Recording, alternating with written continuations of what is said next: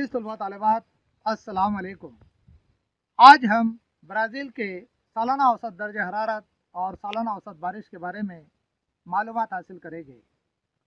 Brazil की अर्जुलबलदी वसत ज़्यादा होने की वजह से ब्राज़ील की आबो हवा में फ़र्क पाया जाता है। ब्राज़ील के शुमाली हिस्से से ख़त इस्तवा गुजरता है। इसी तरह से ब्राज़ील के ब्राज़ील का शुमाली हिस्सा ज़्यादा गर्म आबो आबो हवा वाला इलाका है।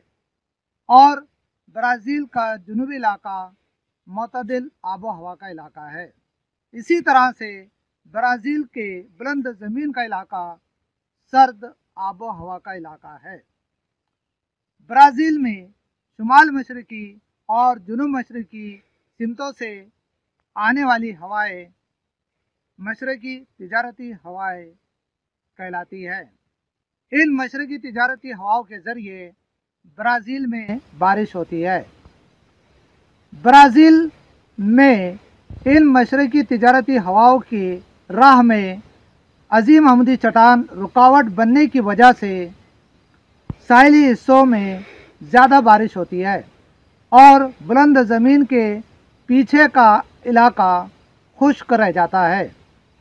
इसी इलाके को खुश्क चौ चौगोशे के नाम से जाना जाता है।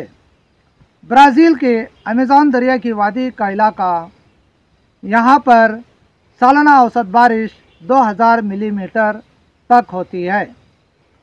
और ब्राज़ील के जुनूब मशरक़ी इलाका यहाँ की सालाना औसत बारिश 1000 से 1200 मिलीमीटर तक होती है।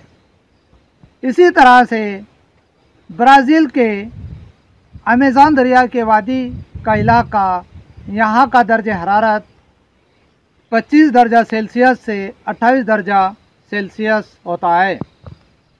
और ब्राज़ील के जनूबी इलाका पेरागोवे और पेराना दरिया की वादी का इलाका यहाँ का दर्ज हरारत नस्बता कम होता है।